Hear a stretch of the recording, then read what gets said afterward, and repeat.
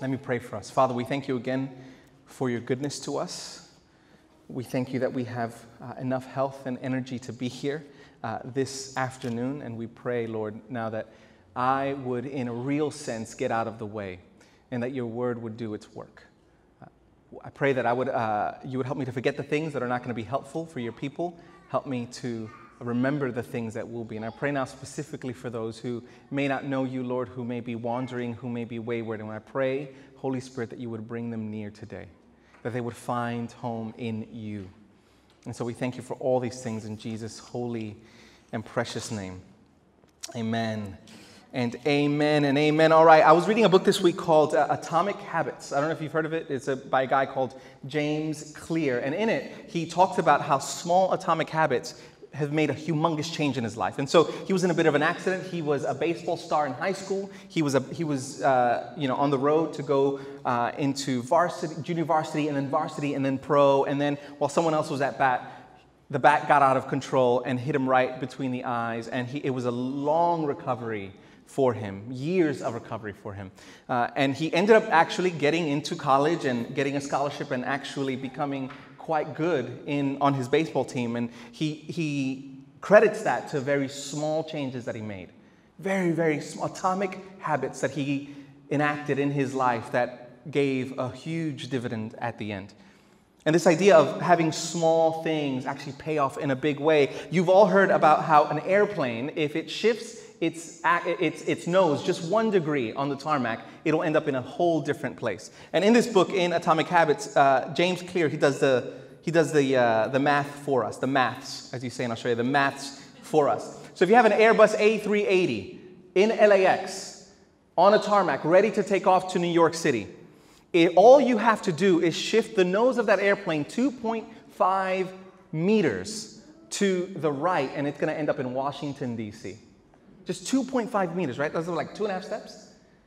And it ends up in a whole different place. These small changes make a huge difference in the end. Shifts in this direction or that will make an enormous difference in your life. And the stories that we choose to tell ourselves, the stories that we've inherited from our family of origin, from our culture, all of these things that shape our imagination, small shifts will make long term changes. And if you want to imagine in 10, 20, 30 years, the narratives that shape us, small shifts in them will make a world of difference. And our text today is going to ask us to make three shifts, three quite significant shifts in our thinking, in our being, in how we actually follow Jesus. It's going to ask a lot of us today. And I, uh, you know, I, I, battled with this. I said, How much do I hold back? And I, I want to just give it to you and say, whatever the Lord chooses to do in your life today through this word, may He do it. May He do it. So let me give you some background here. What's happening before this text? What is happening in Jesus' life? What, what happened just before here that makes, helps make sense of what we're about to read? So at the end of chapter one, what we find is that Jesus heals a leper. Now, if you remember, uh, what a leper is. So, uh, leprosy, the, the skin condition. But in Israel, if you had leprosy, you were completely outside of the community. There was no way that you would be included in any way, shape, or form with anything to do with the temple, which was the center of their community. You were an outsider. You were the lowest of the low. And what Jesus does, he heals this leper, he touches him, and then he says this Jesus says this to him See that you say nothing to anyone. So he heals him. See that you say nothing to anyone, but go, show yourself to the priest, and offer for your cleansing what Moses commanded for a proof to them. So Jesus heals someone who would have been on the complete outside of the community. And this is what he doesn't do. He doesn't say, Now that I've healed you, uh, can you go ahead and give me a like on Facebook and follow me on Twitter and Instagram and follow, you know, subscribe to my YouTube channel? He says quietly, just, just don't tell anyone what I did and just go your own way, show it as a proof to the priest, and live your life in response to what happened. And then he does this. But he went out and began to talk freely about it and to spread the news so that Jesus could no longer openly enter a town, but was out in desolate places, and people were coming to him from every quarter. So Jesus is beginning to blow up. His ministry is going, uh, oh, I don't know, you can't call it worldwide, like it's going like region wide, right? People are hearing about this mystic, this healer who is healing people and has this power over nature and has this power over sickness. And then we get to this point. And this is one of the scenes in the Gospels that is most uh, special because it's in Jesus' home. You actually don't find anywhere else where you see Jesus at home. Let me read to you the first couple verses again. And when he entered, when he returned to Capernaum, which was where he, uh, where he lived for most of his public ministry life, when he entered into Capernaum, after some days, it was reported that he was at home. And many were gathered together so that there was no more room even at the door, and he was preaching the word to them. So Jesus is at home. And in fact, scholars believe that Jesus moved in with his boy Peter. And so Peter owned a home just by the sea because Peter was a fisherman, and he moved in with Peter. But nevertheless, this is a very rare moment. This is where Jesus slept, right? This is where Jesus had his meals. This is where he would have spent most of his time during his public ministry. Jesus was home in Capernaum. Even though he was born in Bethlehem, grew up in Nazareth, this was his home. And you can imagine Jesus' fame is growing, the paparazzi is about, and all he's doing is he's teaching them the word. That's what he chooses to do with his fame. He, he, he's teaching them the word. Now, Peter's house, Peter's house was pretty sizable for the time. I actually have a photo here that I took while I was there. I know, that's a humble brag. Uh, and so I took, I took this photo of, of what would have been Peter's home at the time. Now, at the moment, on top, there's this humongous and beautiful modern Catholic church. Uh, but this is what they uncovered, and this was probably where Peter lived. And I can imagine then, this may be the very place where this takes place this very room. And so to enter into this story, this is what we're thinking. We're not thinking about this auditorium. We're not thinking about this huge place where, uh, you know, Jesus is mic'd up and he's preaching to the masses. He's in a small stone-clad room with a mud roof, and he's just opening up the Word of God to them. And this is what it would have looked like. Jesus would have been sitting down. You would have seen that doorway there crammed with people. So we're thinking maybe 50, 150 people crammed in there just waiting on bated breath what he's going to say. And so, are we there? Like in our minds, can we transpose ourselves there? Can we sense what is happening in the room? Jesus is blowing up thanks to his agent, right? The leper, the former leper, sorry, the former leper. He's going about sharing what he's done. And so he's blown up. He's, he's running a Bible study at GC. The place is packed. And then this happens. Come with me to verse 3. And they came, bringing to him a paralytic carried by four men. And when they could not get near him because of the crowd, they removed the roof above him. They unroofed the roof. And when they had made an opening, they let down the bed on which the paralytic lay. And so these mysterious figures, right? There's no names, there, there's no sort of identifiable uh, uh, information that we have of who they were. They're just these four men and this paralytic. But they realize what they need from Jesus. His famous spreading, they've heard about him probably healing the leper or doing this or doing that or the other, and they want to get close to him. They need to get close to him. And whether they believe he's this long awaited Messiah that Israel was waiting for or not, whether they believe that he was God or not, I, I, the text doesn't say, and I'm not even really sure that they do. All they know is that they have this paralytic friend who is in pain, and they need to get him to Jesus. All they know is that when sick people come close to him, they get healed. And so they go up onto the roof, which wouldn't have been hard. These homes back then would have had an external staircase up onto the roof. And so they go onto the roof, made of mud and sort of loose materials and hay, and they unroof the roof. Like no DA approval. They don't go to council to see if they could do this. They just go ahead and do it. Their desperation leads them to do this. And all they do is place this man this paralytic. Right? We don't even get his name. Like, how demeaning is that? That all he is known for is for his affliction. And they put him down at the feet of Jesus. And there's so many wonderful things happening here. But the, the one thing that I want us to take away today, one of the three, one of the highlights here is this that this story shows us that we must move from thinking about our discipleship, our relationship with Jesus, as individualistic to communal. That we actually need others. See, we live in an age of hyper individualism. This is our default. We are born into this. We are discipled by our culture into this, that we remain at the center of the universe. Everything is about us, even the way that we engage in relationships, as long as they benefit me, as long as my job gives me satisfaction, everything is about us. And I don't think I need to spend too much time convincing you of this, but this is true all the way down, even to the way that we operate in churches, even the way that we engage our discipleship. Now, let me just say that I'm not against individualism per se. We are individuals, and there's something beautiful about that. There's something unique about that. In fact, there's this beautiful picture in the book of Revelation that says that when we see Jesus, he will give us a white stone. And on that white stone is a name that no one else knows except you and him. So, there, I'm, I'm not saying that we get washed away, that our personalities get washed away into a nothingness.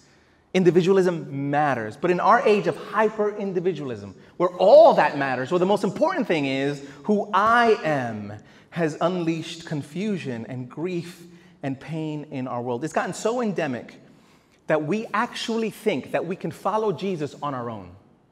That somehow we have believed the lie that we can do this apart from community. Right? And, and so uh, church becomes something that is either peripheral or just completely optional. As long as me and Jesus are cool, it's all good.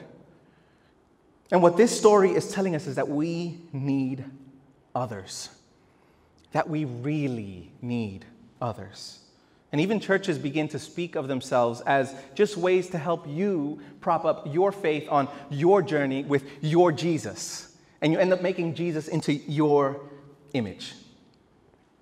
Asking Him to bless your life and fulfill your dreams and baptize your plans. And the fact of the matter is that we are far more connected to one another and we need one another far more than we think. And there's no other way around this. We were made by a community. We were made for a community. We were made in a community. And this story shows us something profound. It shows us that there are times where we can't get ourselves to Jesus. That there are times where we need to be carried about by others around us. And isn't this good news for us today? That it doesn't all depend on me. Isn't it good news that when you have no desire to pray, your friend can lift you, your friend can lift you up? Isn't it good news that when you have no desire to come to church, your friends can encourage you to come? And lift you up. Isn't it good news that when spiritual attack comes, you can have friends to say, you know what, you just lay on your mat, we will take you to Jesus.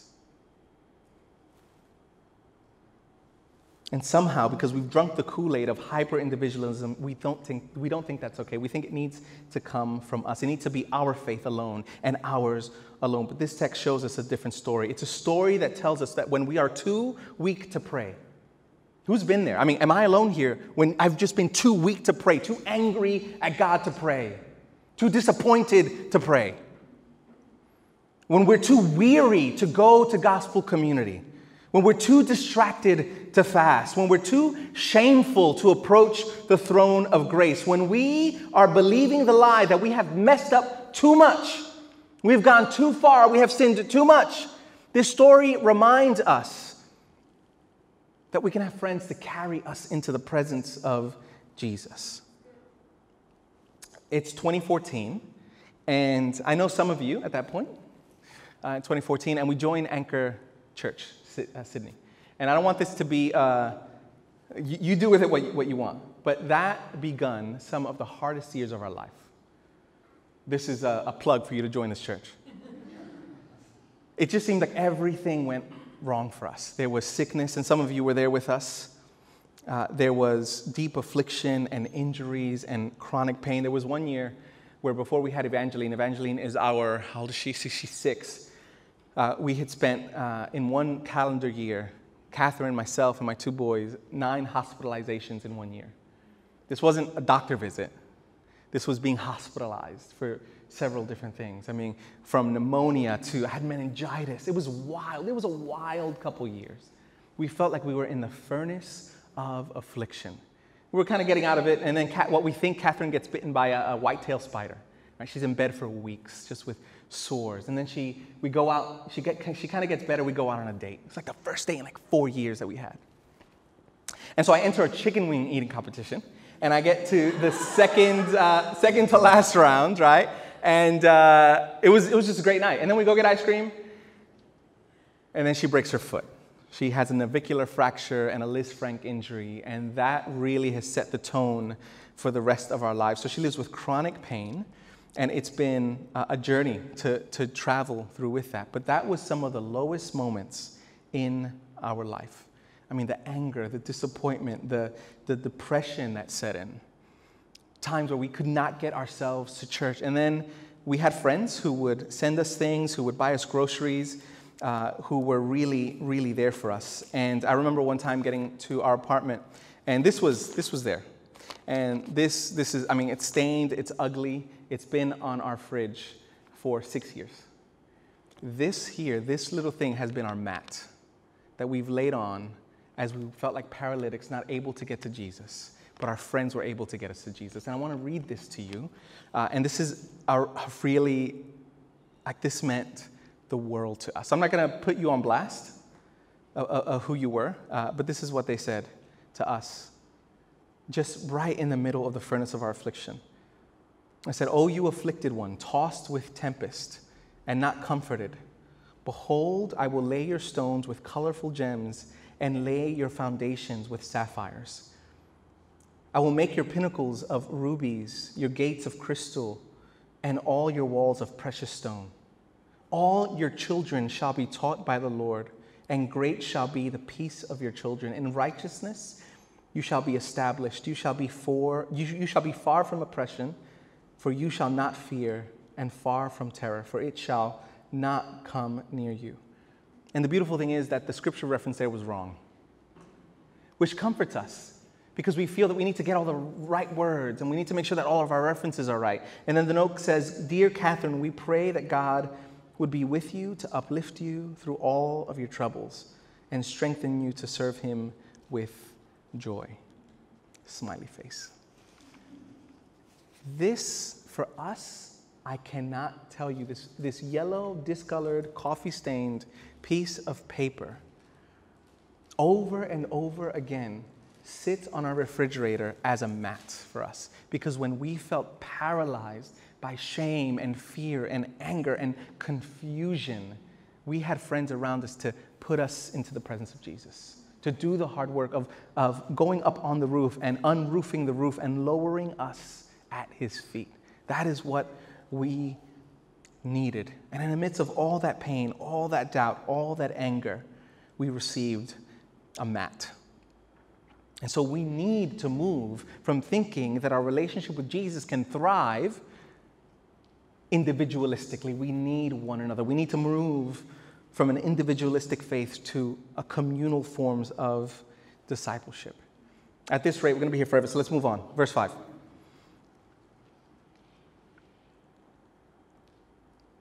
And when Jesus saw their faith, I'm going to stop there for a moment. When Jesus saw their faith, what does that actually mean? Right? So they climb up on the roof, they dig it out, they lower their boy onto the floor, Jesus. And you can imagine Jesus side eyeing Peter, like, oh, I'm sorry. We'll call the roof, tiler. Do you have insurance? Like, none of that's happening.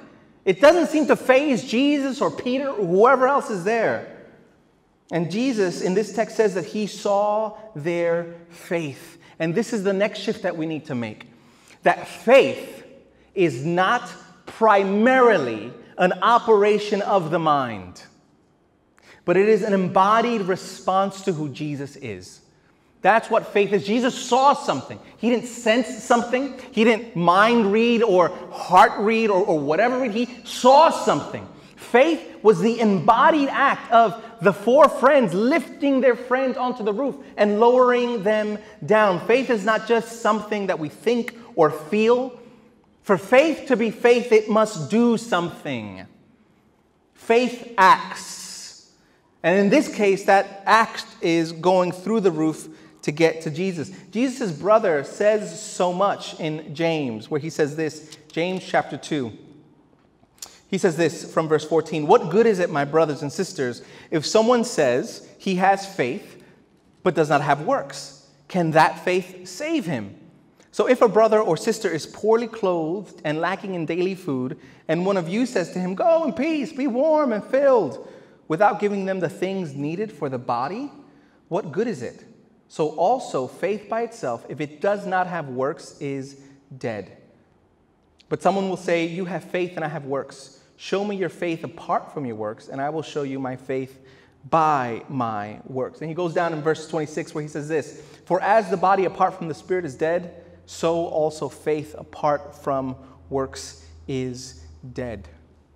Faith does something, but Christianity has not only been run by hype, overrun by hyper individualism, but it's also been overrun by this idea that primarily our lives are lived in the head. That we somehow separate ourselves, right, mind and body, and we can actually separate the two. And what we've done is that we've, we have a focus on humanity's ability to understand and overcome the world through human reason. And so we overcompensate here. We think that all of our life is lived in the head, that it's all about cognition, it's all about knowing something, and that faith is something that we think. Now, surely it includes the thinking, it includes the cognitive abilities, but faith is something that we do. It is an embodied response to who Jesus is. Jesus saw something, he saw what they did, and he called it faith. It's not just what we believe inside of our minds about him, although it includes that. And this is why this is so beautiful for us, beautiful for us, because we can pray that prayer, Lord, I believe, help my unbelief. With faith being an action, we don't need to fear this idea of doubt. That doubt is not the enemy of faith. That even when we are doubting in our minds, in our hearts, we can still walk in faithfulness to Jesus we can still do the thing that He's calling us to do. And that there is faith, that despite what you feel, you still come. I know not all of you want to be here, but despite what you may feel, you do it.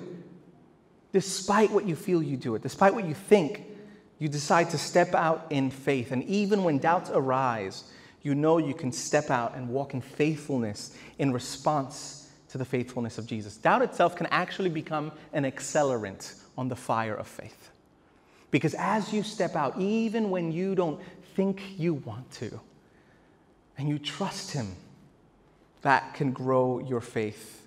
And the beautiful thing is that Jesus, Jesus responds. Jesus responds to faith.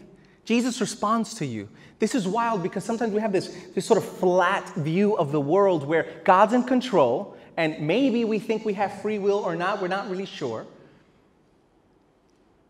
But Jesus responds to faith. God responds to our action. Jesus responds to the embodied responses to him. And this is the beautiful mystery of joining God in the renewal of all things. And so we need to make the shift from seeing faith as primarily an operation of the mind and seeing it as an embodied response to who Jesus is. So let's continue here at the end of verse 5. All right, so, and when Jesus saw their faith, he said to the paralytic, Son, your sins are forgiven. Now, some of the scribes were sitting there questioning in their hearts, Why does this man speak like that? He is blaspheming. Who can forgive sins but God alone? And immediately, Jesus, perceiving in his spirit that they thus questioned within themselves, said to them, Why do you question these things in your hearts? Which is easier to say? And just by the way, like once, once we get to this point and you have Jesus reading these guys' minds, like I, I hope that if that ever happens to us, we would we begin to shift our thinking here, but they, they, they remain. Why do you question these things in your hearts? Which is easier? To say to the paralytic, Your sins are forgiven? Or to say, Rise up, take up your bed, and walk? But that you may know that the Son of Man has authority on earth to forgive sins, he said to the paralytic, I say to you, rise, pick up your bed, go home. And he rose and immediately picked up his bed and went out before them all, so that they were all amazed and glorified God, saying, We never saw anything like this. And saying, Can you imagine now? You're there, you're an onlooker.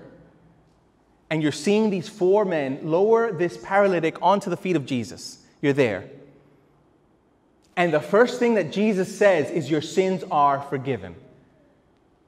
Like, this should shock us. Because what we need to understand about Jesus is that his, his love is just pulsating through his body. And the thing is, the mystery is the first thing he does. It says, Your sins are forgiven. Now, I don't know about you. I don't know if you want to be, I don't know, more pious than what you are. But let me tell you, that sounds disappointing to me. Like, I didn't come to get my sins forgiven, I came to walk. I came to move. I came to have my body free of this pain. It's the kind of disappointment when you order your six piece and you find out they put sweet and sour sauce in the back. That level of disappointment. And so he's there, he's like, like he's still hurting. Like you can imagine his body, other parts of his body maybe overcompensating for the pain, overcompensating for the fact that he can't move. And what a disappointment. You came to move freely. Now, your sins are forgiven, but you're still a paralytic. What does this text have to say to us? We think, great. Great. Can you imagine the, the disappointment on the four friends? Like, man, we just broke our back trying to get this guy here. And you just pronounce forgiveness of sins. And then you have this, these, these other characters, these scribes are like, yo, who does this guy think he is? Like, all right, he's blowing up. He's got the blue tick of certification on Twitter. He thinks he's somebody now. And now he's starting to forgive sins. Like, nobody but God can forgive sins. So, Jesus, being really Jesus, he says, Bet. You don't believe that I have authority to forgive sins on earth? Walk. What a boss. Like, just, I can't, like, he's just phenomenal. And he walks. And the man walks. Imagine that you're Jesus in the story. Imagine you are teaching and you see someone come down, a paralytic, and the first thing, like you, you see him, and you don't only see his condition, but you see his heart. You see to the depth of him. You know him better than he knows himself. And you know what he needs. You know what he desires. You know he desires to be made whole. And the first thing he does is he forgives his sin. Why? This is the third shift that we need to make because we need to move from seeing our deepest need as something that is physical from understanding that it is relational. That the deepest need of everyone in this room, I don't know you all very well, but I know this that the deepest need of every single one of us in this room is relational, not physical. Now, I want to say this I'm not saying that the physical doesn't matter. The physical matters. One day, God will renew all things. We're not going to end up in the sky somewhere without bodies. We will end up embodied here in the renewed heavens and the renewed earth. The physical matters. Jesus cares about this man's pain. He wants to see him walk in wholeness. He wants to see you walk in wholeness. Jesus cares about shalom the fullness of wholeness on this earth. I'm not saying that he didn't care about his impediment. I'm not saying that God doesn't care about your physical pain. He will renew all things. And God's answer to your prayer of healing is always yes. Always yes. The question is is it going to happen in this age or the age to come? We will be healed. That's not a question. The question is, is it going to happen in this age or the next? And so I just want to say, state really clearly what I'm not saying. I'm not saying that the physical doesn't matter. Nevertheless, this text has something for our secular modern age. It confronts us when we think that the primary thing we need is what we can see, touch, taste, or smell. When the very primary thing we need is found in our relationship with God. I'm all for political engagement. But when we say what we really need is to get this party in power or to get that policy passed, and then all things will be well. I'm all for wise financial stewardship. But the idea when we say that what we really need is financial freedom and prosperity, and then all things will be okay, is not going to lead to human flourishing. I'm all for great education. My wife is a teacher. Many of you are teachers. I respect that that is a holy calling. But the idea when we say that what we really need is education, and then all things will be well, all the ills of the world will be eradicated, will not lead to human flourishing. I want this church to be indelibly marked by a heart for justice and equity across all different stratums. And yet, when we say that what we really need is equality, and then all things will be made well, will leave us wanting.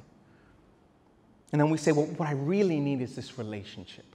And then all things will be well in my life. What I really need, if I just had more money, if I was just healthier, if I was just more confident, if I wasn't depressed, if I didn't suffer from social anxiety, if I wasn't debilitated with chronic pain every single day, if we can just advance technologically enough, if I can just find meaning and purpose in my work, if I can just raise kids who follow Jesus, if I can, if I can, if I can, then all things will be well. And this text is moving us from that lie to say all those things are important. They're just not the primary thing. That the deepest need that we have, the deepest problem that humanity has, is not physical, but relational. And Jesus sees that in the paralytic as he's laying there in pain, loving him like no one else can love him, he pronounces his forgiveness of sins. And so you may have come here wanting a pep talk, wanting maybe to feel better about yourself, wanting to find community, all things that are good, very good. And yet, your deepest need will not be met by any of those. Your deepest need is to come face to face with your Creator and hear the words of forgiveness that, daughter, your sins are forgiven. Son, your sins are forgiven. That there is enmity, there's strife between us and God. And the way that direction is important in Scripture, it says that we have enmity towards God, not God toward us. And this idea that there's this angry God just waiting for you to accept Jesus and then he'll love you is completely backwards. We have a God who the cross doesn't make God love us. We know that, right? The cross, what happened on the cross, does not change God's mind for you. It reveals it, it proves it. That there's enmity there, and yet, and yet we go after what we can see and touch and smell and taste, thinking that those are our deepest problems. One day those will be healed. One day there will be good government, if you believe it or not. Like one day there will be perfect government, perfect ruling, perfect relationships, perfect bodies with no pain and no shame. But our deepest and most felt need is not what we can feel on the surface, but it's this relationship between us and God. And this is your invitation today that if you're a follower of Jesus, I want you to, to take these three shifts and ask the Holy Spirit today what, what's one that you can take away with you? The shift from an individualistic to communal discipleship, throwing yourself, giving yourself to a local body that's not impressive. We're not impressive like you will be disappointed. But throwing yourself into community because we cannot live individualistically. The second shift is from seeing faith as primarily something in the mind to something that we actually embody as a response to Jesus. And from thinking that your deepest problem, the third one, from thinking that your deepest problem is physical to actually understanding that it is relational. That we come face to face with Jesus and we hear those words of love and forgiveness. And if you haven't done that, if you haven't pledged allegiance to Jesus, if you don't believe that you follow him today, I invite you to do that. The scriptures say that when one person repents, one sinner repents, someone who is trying to figure out life on their own, when one repents, there is a party in heaven. Like, that's wild. There's celebration in heaven. There is, like, angels are just rejoicing over the fact that someone has woken up to themselves and has denied the lie of the world that says we can make it on our own. And he's waiting for you to take that first step of faith He's waiting for you with open arms, with gentle arms, with strong arms. Arms that can take your doubt. Arms that can shoulder your shame. Arms that will bear you up. Isaiah 40 reminds us that even young men get tired. I don't place myself in that like category anymore. But apparently I hear young men still can get tired. But says he doesn't get tired. He doesn't weary of welcoming his kids home. And so I implore you to be reconciled to God. And you do that by simply making one small step of faith, asking Him to reveal Himself to you, thanking Him for the forgiveness that's at the cross.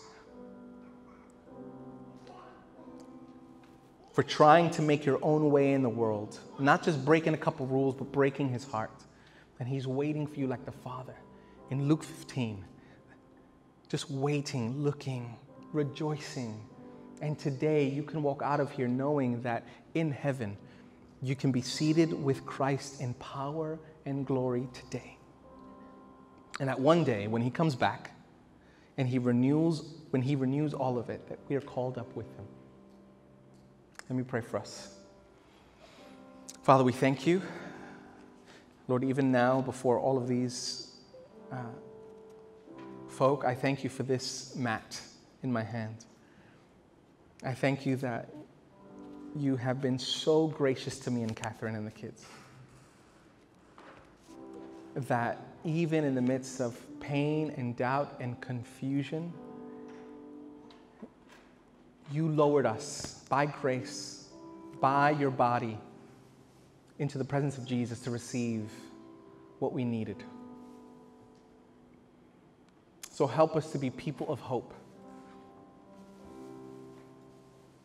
I pray for those who are far from you now, who are here for a specific reason. And I pray, Holy Spirit, that scales would drop and hearts would change, and that they would see you as beautiful above all things and that they wouldn't believe the lie that they've messed up too much, gone too far, been out of church for too long, but that they would find home in you. And so we thank you for all these things in Jesus' holy and precious name. Amen. Amen.